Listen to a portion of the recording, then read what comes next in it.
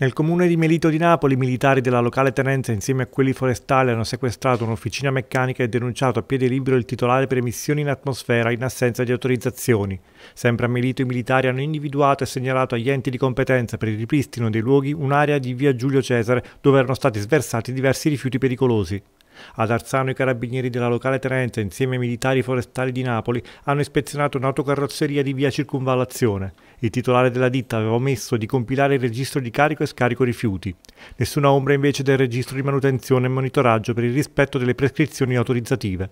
A casa nuove i carabinieri locali e di forestali di Marigliano hanno denunciato il rappresentante legale di una ditta del posto per smaltimento illecito di rifiuti.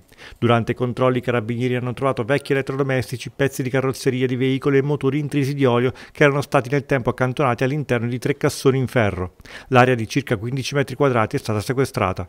Altra officina, ma questa volta a Giuliano in campagna, dove i militari della locale stazione insieme ai preziosissimi colleghi forestali hanno sanzionato il titolare che non aveva aggiornato il registro per lo smaltimento dei rifiuti.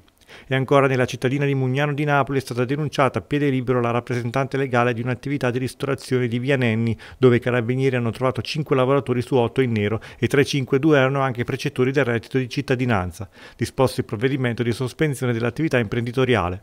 I carabinieri della stazione di Grumonevano, insieme ai colleghi del nucleo operativo del Comando Gruppo Carabinieri Tutela del Lavoro di Napoli, hanno denunciato il titolare di una ditta di confezionamento di capi di abbigliamento.